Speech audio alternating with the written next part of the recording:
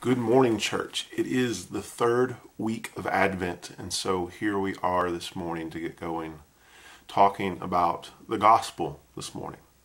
Of course, Advent is the first season in the uh, historic Christian calendar, and the historic Christian calendar is a discipline that walks through the life of Jesus every year, leads the church through his life. We walk it with him. And this part represents that long period of time leading up to the birth of Jesus, um, between the promises of the prophets and the poets and Moses and the law, and the fulfillment of those promises in Jesus. So it's about anticipation and longing and waiting for the faithfulness of God. And our text this morning is one of my favorite in um, favorites in all of the Bible. It is from Luke chapter one. We're actually up to the Gospels now as we go through this four week progression of Advent, and this is Mary's song in Luke chapter 1, starting in verse 46. This is as she's going to visit her cousin Elizabeth, who, of course, is expecting uh, a child who will be John the Baptist. And so, this is the song that she sings as she comes into uh, this visit with Elizabeth. Starting in Luke chapter 1 in verse 46. Mary said, With all my heart I glorify the Lord. In the depths of who I am, I rejoice in God my Savior. He has looked with favor on those of low status, or on the low status, status of his servant, rather. Look, from now on, everyone will consider me highly favored because the Mighty One has done great things for me. Holy is his name. He shows mercy to everyone from one generation to the next who honors him as God and he has shown strength with his arm. He has scattered those with arrogant thoughts and proud inclinations. He has pulled the powerful down from their thrones and lifted up the lowly. He has filled the hungry with good things and sent the rich away empty handed. He has come to the aid of his servant Israel, remembering his mercy, just as he promised to our ancestors, to Abraham and to Abraham's descendants forever. So there's so much we could say about this song. Uh, like I said, it's one of my favorite texts in all of the Bible. And uh, we could talk about this morning things like how uh, Mary's song, Mary's Magnificat, is what it has historically been called, uh, follows in uh, a, a, a, line of great songs and poetry of praise in moments like these. I think back to how um, Mary borrowed from, for instance, Hannah in 1 Samuel chapter 2 where God delivered Hannah from her uh, plight by giving her a child as she asked. That, of course, was Samuel, which she then dedicated to the Lord. I think back to um, Exodus chapter 15, and Luke is very much telling, as Matthew and Mark are as well, very much telling an Exodus story and how when the children of Israel came to the far side of the Red Sea, what they did is they broke out in praise, recounting the, the glory of the acts of God. This is what God has done. This is who God is. This is God has showed up in our life. Let us tell you the ways that God has done this. We could talk about that, and as a matter of fact, in a few minutes, we'll have a little more to say about that. Or looking at the Magnificat, we could talk about the actual character of God and how that plays out, how he is exalting Mary in particular.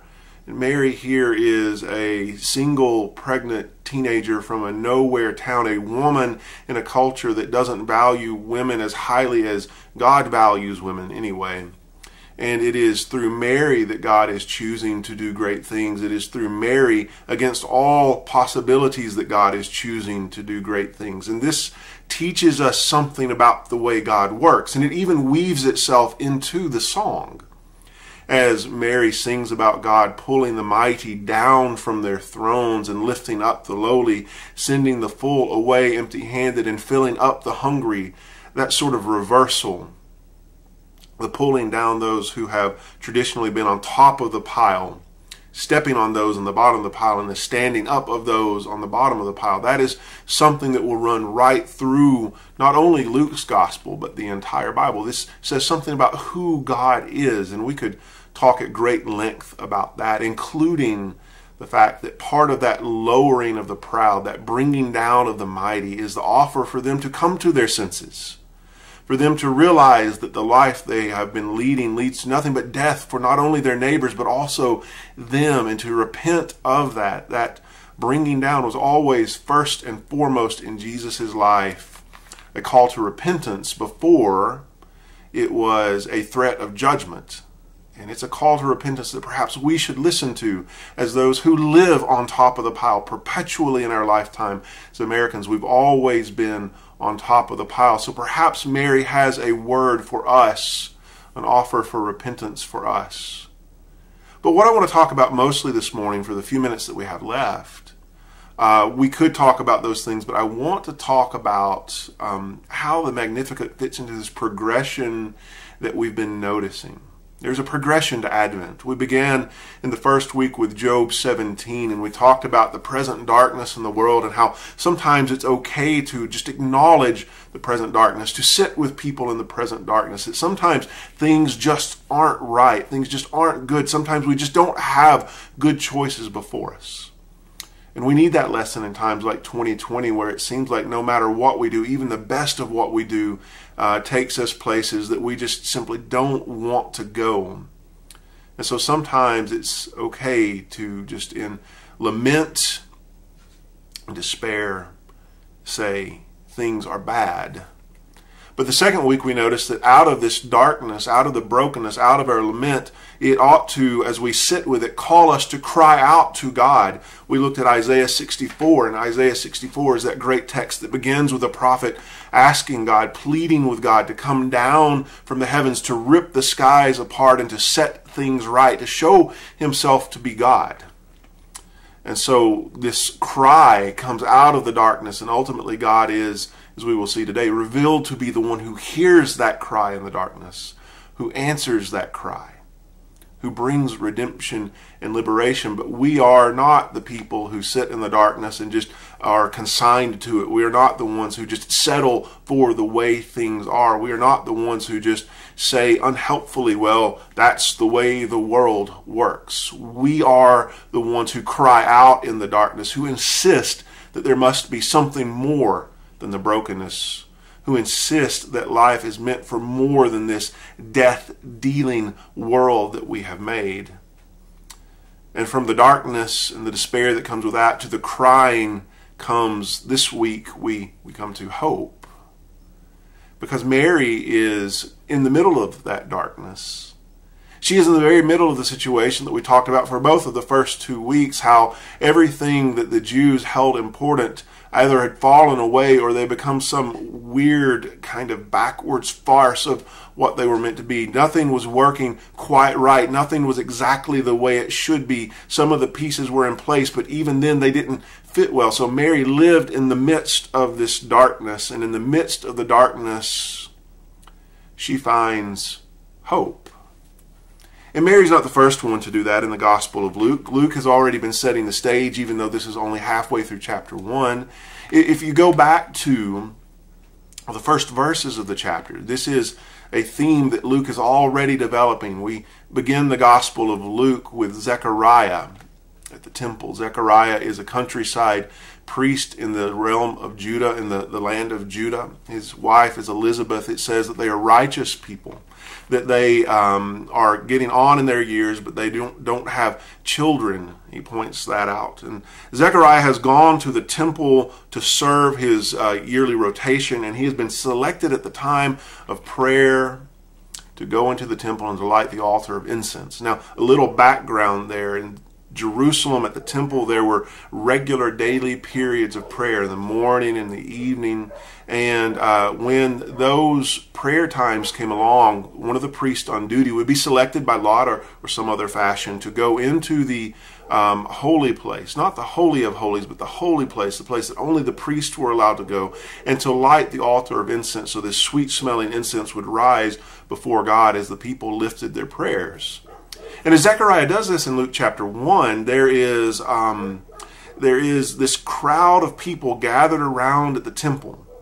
And in these early chapters of Luke, this crowd of people, just the people he calls them, they represent the faithful people of God, the ones who are anticipating the coming of God. And the truth of the matter is that through the centuries of darkness, through the Babylonian persecution and the Assyrian or the Assyrian persecution, the Babylonian persecution, the Persians, and then the Greeks and the Syrians and the Egyptians again, and then the Romans, uh, the people of God had developed these these routines of anticipation where they cried out and they longed for and they asked God to come and faithfully keep his promises. And one of the things that they would do if they were in the temple area is they would gather for prayer at these times of prayer, the lighting of the incense in the morning and the evening. They built their life around it. And so they would get up in the morning, they would go to the temple, and they would offer their prayers to God. Will you keep your promises? Will you make good on what you said you would do? Lord, we are waiting for you. And then they would go about their business, and then evening would come, and they would stop what they were doing, and they would go to the temple, and they would lift up their prayers. Lord, will you keep your promises? Will you be faithful to what you said you would do? Uh, said you would do? Lord, we are waiting on you.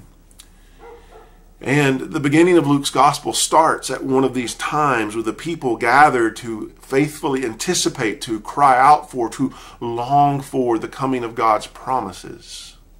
They're looking for God to act. And they got that wrong in a lot of ways. They misunderstood how God would act, but in many ways they got it right as well. They were waiting for the right thing, even if they misunderstood what that thing would be. And the story goes on from there. Uh, Zechariah meets an angel in the holy place. The angel gives him a message that he will have a child, that this child will be John, that John will be the forerunner of the Messiah as prophesied with Isaiah and the other prophets. He goes back out to the countryside, unable to speak because of that story that goes down there. And then the scene switches to Mary, this pregnant, or not yet pregnant, this single teenage girl from a nowhere town in the middle of Nowheresville on the corner of the Roman Empire. And the angel says to her that she is to be the mother of the Messiah. And she responds, um, she responds, understandably enough. I'm not married, and obviously you don't understand how this works. And the angel kind of explains to her how things will go. And Mary, Luke sets her up at the end of this story as the faithful Israelite. You have the faithful people anticipating the coming of God, but Mary is kind of set up as the ideal Israelite in this time of anticipation. She learns that in the most unexpected of ways, in the most unusual of ways, in ways that would cost her personally, that God is now acting and this thing that her people have been praying for, have been longing for, have been expecting for hundreds of years, she looks the angel in the eye and says, May it be as you said. Let it be so. I'm in with this. I'm down with it.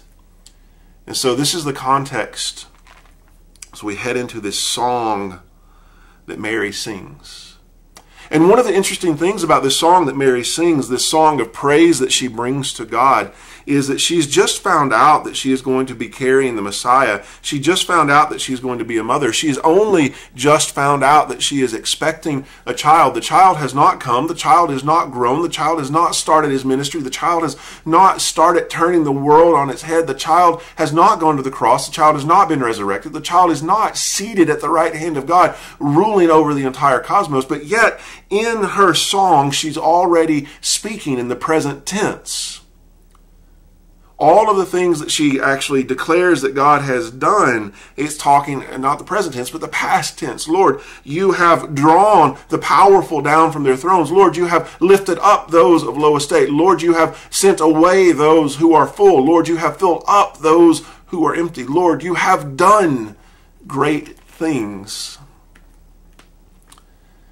And so, as we look at Mary's song, I want to go back for just a second and consider that um, that impulse of the people of God throughout the Bible to when they come to a great moment, they bring praise to God. And here Mary stands at the beginning of the story. You know, Hannah, she, she sings praise to God after Samuel is born.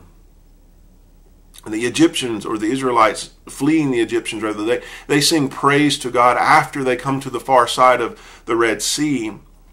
Mary stands in the midst of the darkness and sings praise to God with such confidence that it seems like what God will do has already been done.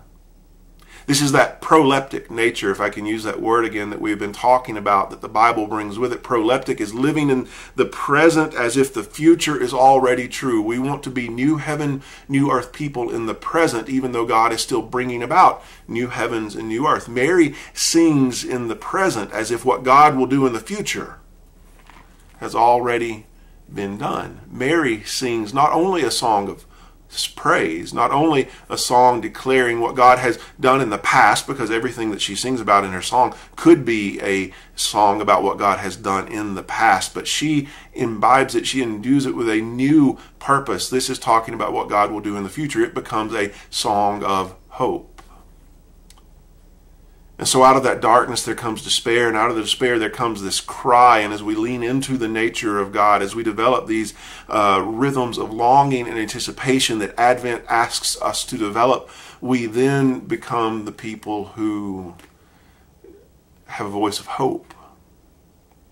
That there should be more to this world, but and there is more to this world. That things ought not be like this. And there are other ways possible. And what's more, we are the ones who cry out that God is the one who is bringing about those other ways. And so we come back to that thing that we've said so often that you can probably quote it with me. In the church, sometimes we have this temptation to believe that our message is to tell the world that it's falling apart, that it's broken, that it's going to hell. That is not our message. Anybody can tell the truth of that. If you live long enough, you are going to see the brokenness of the world face to face. The message of the church is not that everything is bad, but that given the darkness of our world, God loves it enough to address it that he's redeeming, that he's restoring, that he's reconciling.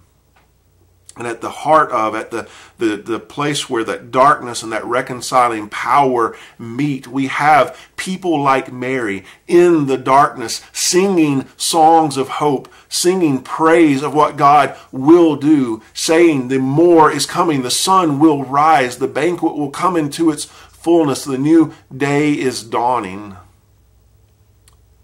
And, church, with our worship, with our lives and our actions and our words and the way that we are in the world as individuals and communities, this is our task. We are a people of hope, and that hope is not wishful thinking as I hope to get a convertible one day. As much as I would want for that to happen, I don't think it's ever really going to happen. No, biblical hope is a certainty that something will happen in the future. It's coming, it just hasn't happened yet.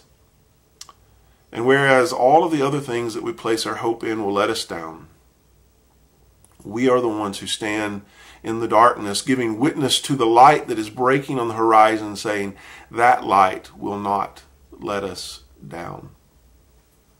And so we sing praises of hope. And that is in the Advent tradition, learning to live in the darkness just as important as learning to cry out. Both of those things are always there. They're never mutually exclusive. We are the ones who cry out in the darkness, and we are the ones who declare hope in the darkness. And so I'm going to stop there. We're almost out of time. Next week, we're going to actually come to the birth of Jesus it's going to be that uh, end of Advent, as it were. They call it Christmas tide, the turning of the tide between the darkness and the coming of the light, and we're going to celebrate that. But this week, go be people of hope. I'm going to pray for you, and then I'm going to ask you to pray with me, and then I'm about out of time. So we're going to quit it there. You recite the verses that remind us who we are as families on your own. Lord, we pray that you would be with us. We pray that you would give us eyes and ears and hearts that can see the hope that you are bringing into the world and that we would declare that with all we are. And we come now and we pray as a family.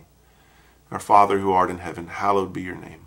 Your kingdom come, your will be done on earth as it is in heaven.